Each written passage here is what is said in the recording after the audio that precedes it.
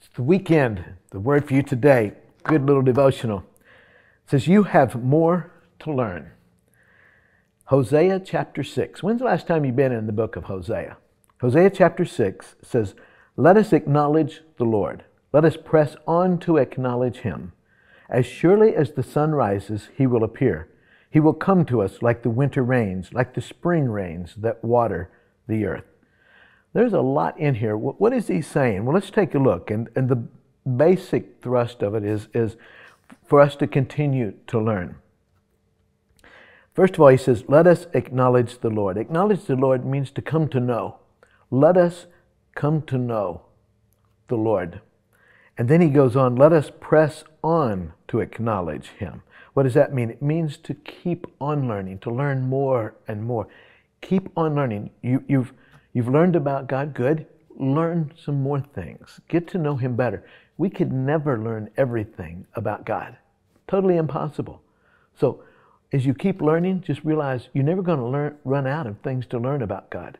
All we're going to do is we get to know Him better. It just gets better and better. And how do we learn about Him? Through Bible study and then prayer time with Him. Just talking to Him. Not necessarily asking Him for anything, but just getting to know Him. Tell Him what you're feeling, what you're going through. Just ask Him questions. You say, Well, will He answer? He'll answer. He answers in a lot of different ways. Sometimes you'll hear something in your head that you wouldn't have thought of. Sometimes He'll lead you to a scripture in the Bible. Sometimes He'll use another person. Sometimes it'll be an experience. There's a lot of different ways that God will, will speak to us. So let us acknowledge or come to know the Lord. Let us press on to acknowledge Him. Let us hope, let us grow to know Him better and better. And as surely as the sun rises, He will appear. Um, in Hebrews chapter 11, verse 6, he said, And without faith it is impossible to please God, because anyone who comes to Him must believe that He exists and that He rewards those who earnestly seek Him. What is he saying? He said, if we seek after him, we will find him. As surely as the sun rises, God will appear. Tomorrow morning, will the sun come up in the east? It will. If it doesn't, we're all in trouble. Well, just as surely as that's going to happen, God appears. He is there. God will make himself known to everyone who genuinely seeks after him. And then it says, and he will come to us like the winter rains. A farmer back in those days, they they, um, in that area, there were two seasons of rains. There were the winter rains and the spring rains. The winter rains prepared the land for the seed that would be sown later on in the spring.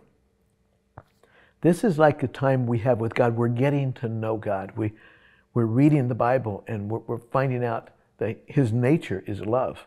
Is God a God of love? Yes. Is He a God of justice? Yes.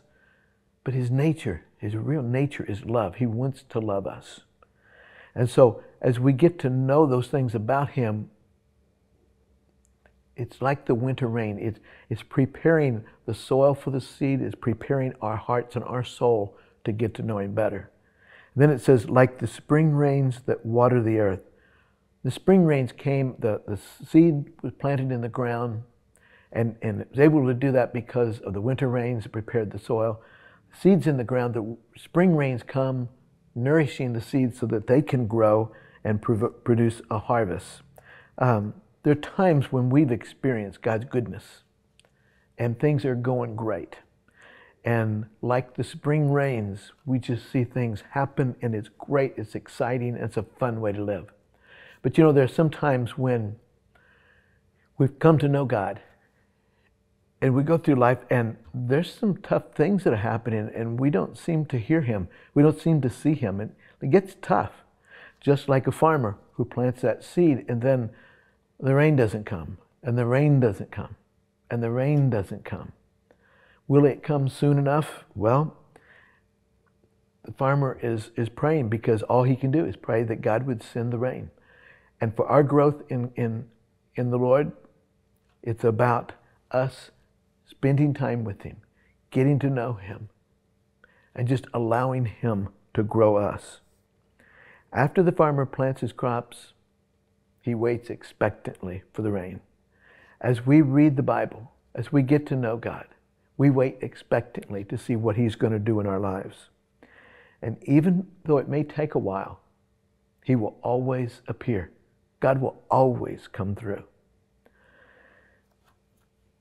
You know, there you can ask God any questions. Any question. There's a story about a father and son going fishing one day, and, and after a couple hours being out in the boat, the boy suddenly became curious about things, and he said, uh, "Hey, Dad, how does how does this boat float? How does it keep from sinking?" And the father thought for a moment. He says, no, "I don't rightly know, son." The boy went back to fishing and thinking, looking around him more, and he said, "Dad, how do fish breathe underwater?" Again, the dad replied, "You know, I, I don't really know, son." A little later, the boy asked the father, "Dad, how come the sky is so blue?" Again, the father replied, Don't rightly know, son.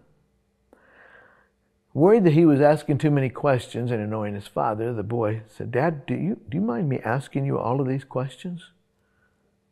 His father said, Of course not, son. If you don't ask questions, you'll never learn anything. Well, now, I don't know if the boy learned anything that day or not either. But I can promise you this God will answer you. He won't say, I don't rightly know. God knows, and He'll tell you. We have more to learn. Had one man tell me one time that uh, he didn't go to church because he'd heard just about every sermon that there was. You know, that's, that's really pretty sad because God has more to say to him. God wants to use him in ways that he's never used him. And he doesn't know everything about God. And what he did is he cut himself off from growing and learning more about God. So today, how about you? Are you open to learning more about God? Do you believe there is more for you to learn about God? Do you want to? Have a good day.